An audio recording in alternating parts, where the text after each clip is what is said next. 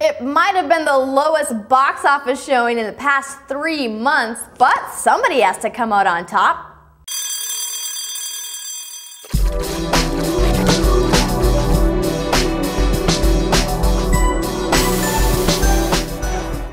Hey guys, what's up? It's Andrea Rene here for GetTheDaily.com, and it's time to look at what happened at the box office over the weekend. In the number one spot is Semi Pro with $15.3 million. Will Ferrell took number one at the box office, no surprise there, but come on, only 15 million? That's pretty disappointing, even for him. I guess people are just getting tired of seeing a middle-aged man running around in little shorts, especially when he shouldn't be.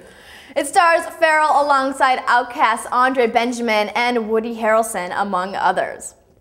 In the number two spot is Vantage Point with 13 million. This film stars a slew of great actors, but isn't quite resonating with audiences as much as they hoped. But hey, they're still at number two. Pretty good, I'd say.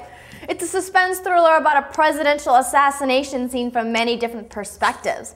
I heard it has some cool chase scenes, so maybe that's a redeeming quality.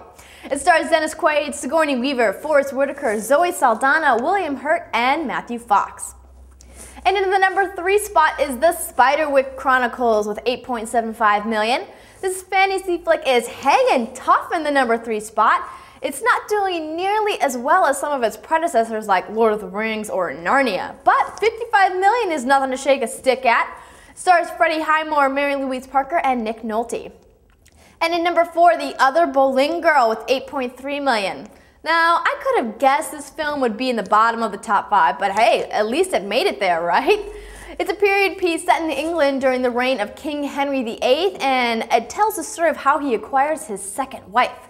The Tudors is coming back to Showtime at the end of the month, so consider this a pump-up movie. It stars Eric Bana, Natalie Portman, and Scarlett Johansson. And rounding out the top five is Jumper with 7.6 million. It's hanging in the top five. Way to go. Considering you're full of crap. Okay, there are some cool action sequences and great filming locations, but that is all that is good about this movie. I'm sorry to say, it's just not so good. Major plot holes and some terrible acting make this a must wait for DVD flick. It stars Hayden Christensen, Rachel Bilson, Samuel L. Jackson, and Diane Lane.